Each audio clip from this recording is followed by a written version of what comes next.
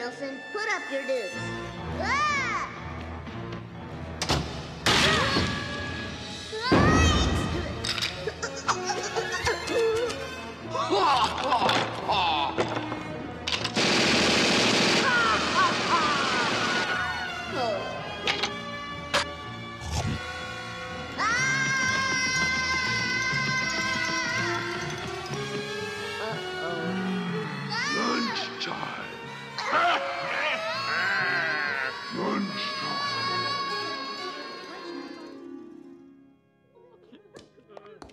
Goodbye, little dude.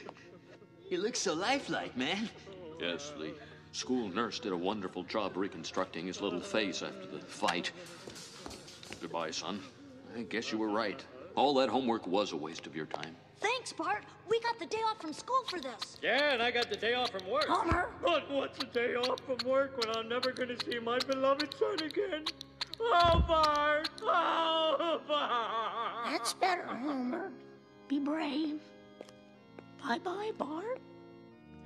You're always my special little guy. Bart, here's that cupcake you wanted.